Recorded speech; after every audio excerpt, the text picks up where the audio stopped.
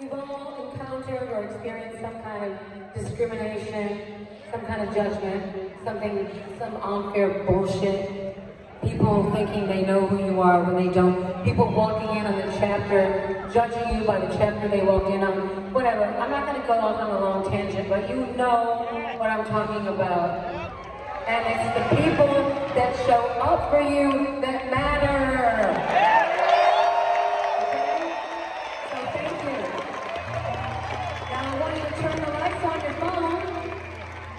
Come on, you can do it. Come on, you little cute little twinsies over there. There's a lot of twinsies here. There's a lot of twinsies. Thank you. Wow. That looks so pretty. Beautiful. I love it. Light up this desert. Now keep your lights on, okay? And if you do happen to know the song, feel free to sing along. Don't need diamond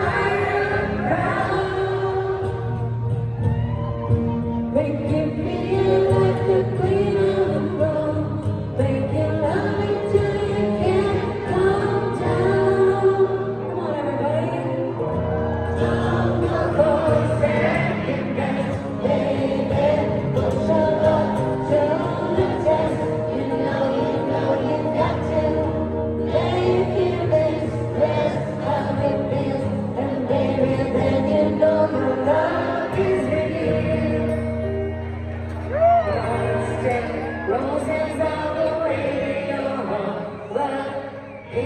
just done with your